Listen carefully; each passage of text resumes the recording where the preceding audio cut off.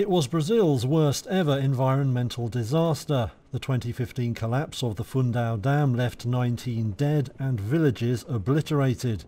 Six years on, the legal wrangling continues. On Tuesday, a court in London reopened a $6.9 billion lawsuit against BHP. The mining firm co-owned the dam along with Brazilian giant Vale. Last year a UK court had struck out the lawsuit, saying it was an abuse of process. An appeals court upheld that decision in March. But on Tuesday three judges reversed course and granted permission to appeal.